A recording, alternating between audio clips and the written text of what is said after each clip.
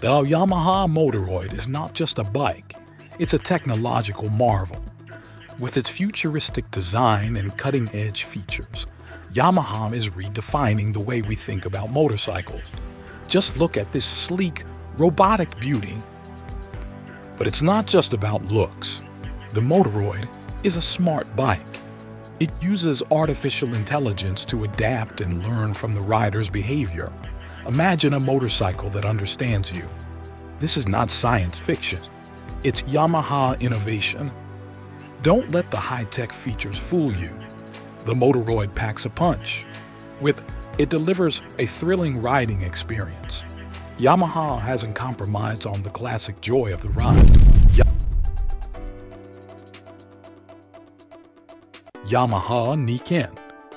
The rest of the bike is a Yamaha Tracer 900 GT, powered by Yamaha's well-loved staccato Braping 847cc liquid-cooled DOHC inline 3, driving the single rear wheel via a chain. Published figures give it 104 wheel HP and 60 EULB-F of wheel torque, formidable for a bike weighing 603 pounds. The rear suspension is a conventional KYB monoshock, adjustable for preload and rebound.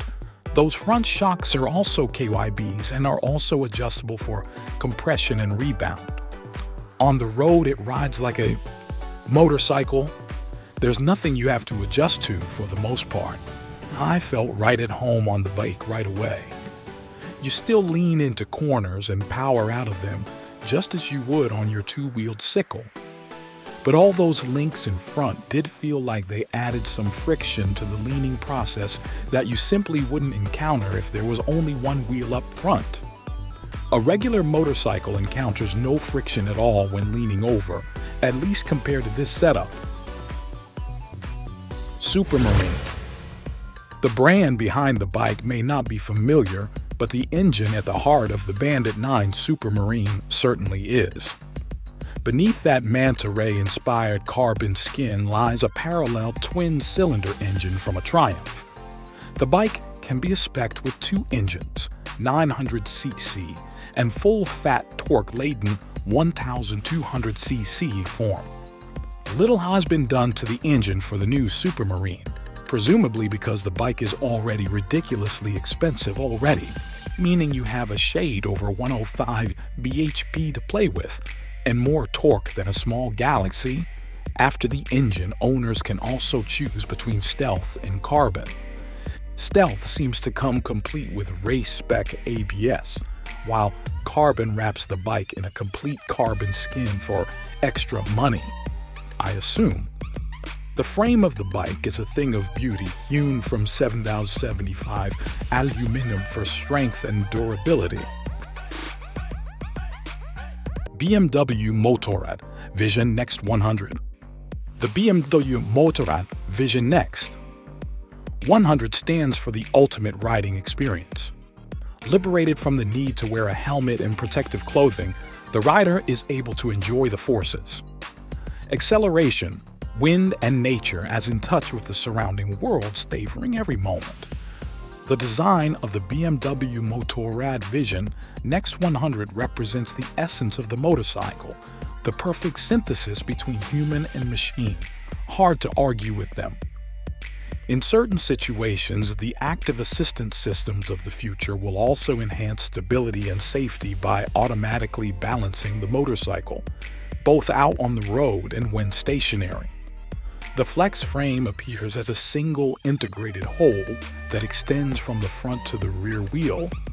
Being flexible, it allows the bike to be steered without the various joints found on today's motorcycles. Turning the handlebar adjusts the entire frame, changing the direction of the bike.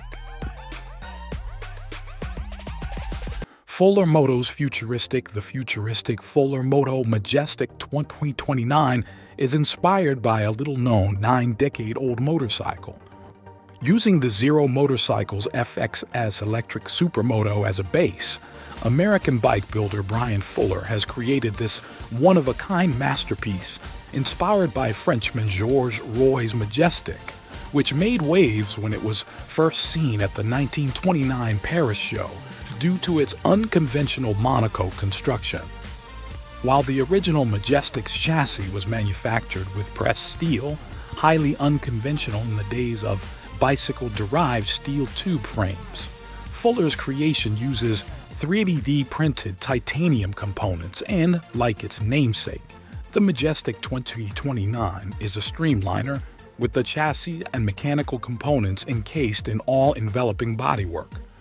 Both bikes also feature a hub center steering system, but that's where the similarities end. Kawasaki J concept. The concept J remains a concept, we're told, but its unprecedented adaptable design ought to be pursued for production so that we can at last ride a bike trike thing that allows us to knife through the S's with a two-wheeled sport bike's excellence and then allow us to sit upright for creeping through town or savoring the wonders of nature on a leisurely tour. Yamaha's recently announced Tricity three-wheeled machine shows that, as expected, the big Japanese companies with the resources to create and then sell machines that only remain dream machines for other manufacturers understand that yesterday's designs, while terrific for some purpose,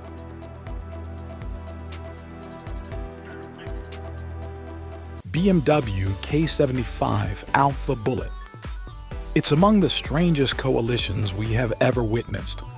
The most populous city in Europe, Istanbul is home to a high-tech industrial designer and an old-school machinist and motorcycle builder from Utah. However, communication has no boundaries in the 21st century, and these two like-minded individuals have come together to create the truly amazing Alpha, a motorcycle powered by a BMW. On designer Mehmet Doruk Erdem's computer in Turkey, the story begins. Mehmet revealed his arresting shark nose land speed racer BMW Alpha concept online almost two years ago. Lazareth LM847 The Lazareth LM847 is a tilting quad motorcycle designed and developed by the French custom bike creator Ludovic Lazareth. The radical design of the LM847 is based around the ferocious 4.7-liter Maserati V8 engine, making it capable to achieve 470 horsepower. The inspiration behind building such a gigantic and extreme machine is equally interesting as the creation of this French man is. France being a part of European Union still had their own laws of land. One such law related to automobile used to be the most irritating and depressing law, especially for the superbike owners and the motorcycle enthusiasts in general. The law forbids any motorcycle to cross maximum power limit of 100 horsepower. This simply means no superbike can be run on the French roads with power exceeding 100 EP. The restriction imposed by the government for the sake of safety used to put enormous pressure on the automobile sector, as the manufacturers had to manufacture modify their performance machines in compliance with the law. Arc Vector The Arc seriously challenges convention at every turn. There is no frame as we know it. Instead, the chassis is a carbon monocoque housing for the 16.8WOU battery cells and motor.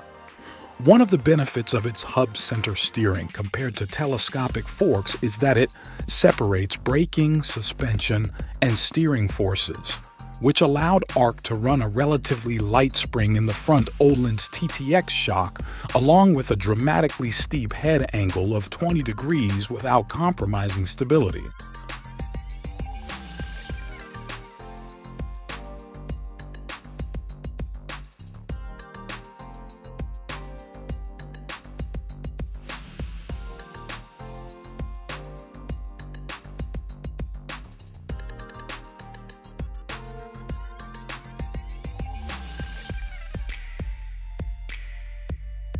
The pivot point of the front shock is located below the front wheel spindle, which, unlike most other hub-steered bikes, allows the front to dive slightly like a conventional telescopic fork, creating a familiar sensation of weight transfer when braking.